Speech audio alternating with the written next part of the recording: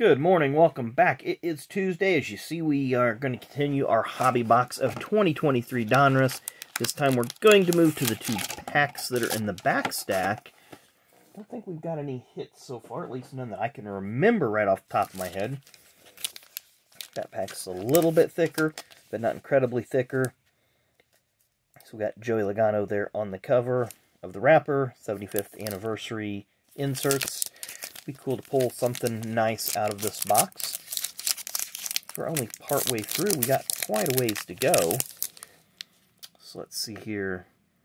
Do a zoom and scroll as best we can. There we go. Probably the best we're going to get it. Again, I'm missing a lens cover on the back of this phone. And have for quite some time. Because the one got cracked. And, well, that's just how it goes. I'm going to start off with Kyle Weatherman.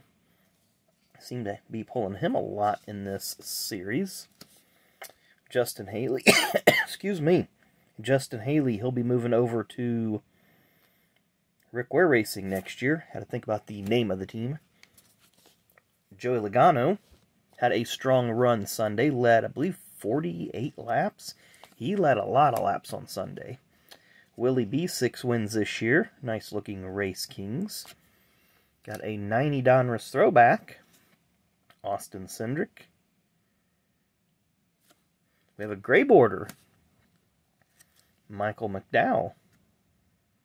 And this is going to be our checkerboard. Kevin, I'm sorry, not a checkerboard, a fireworks or explosions.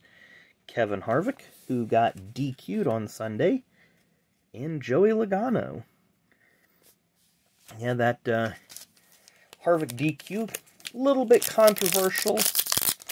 Um, haven't really had a chance to hear a lot about it other than with some of the windshield bolts that secure the windshield. So, not sure what kind of performance performance advantage that would have. There's the pole sitter from Sunday, Aric Almirola. Not sure what his plans are for 2024 yet. Bubba Wallace didn't have the strong showing that he expected to have at Talladega. Ended up going from two points out of the cut line down to nine points with the race at the Roval this weekend. Taylor Gray, Tyler Reddick, having a pretty quiet season. I believe he's just below the cut line.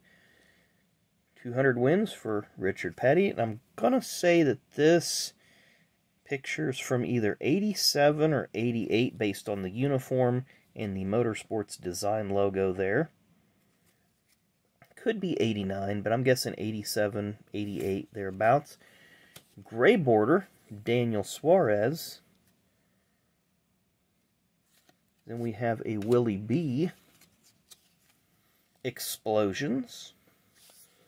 And then we have an optic of Cole Custer who's back in the Xfinity Series this year.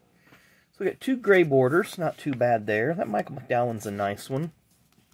Always think those Race Kings look good in the gray border. No numbered cards, no hits. I kind of think I like the uh, Willie B Elite Series here, though I wish they would have used just a slightly darker green on that. It would show up a lot better. I know they're trying to match that Raptor lettering color. But the Harvick one, to me, I mean, the optics pretty sweet looking. Same with that Harvick is a nice looking card. So, kind of one 1A. Do like the, always like the Raptor paint job. Think that the, the one from uh, 2022 is the my favorite, that darker one. The one with the more white on it. Don't like it quite as well. It's still pretty sharp, but that would be my card of the day. Let me know what your card of the day would be. anyway, put these in their respective stacks, and we'll uh, continue our Tuesday. So thanks for watching. We will see you later for Fast Packs.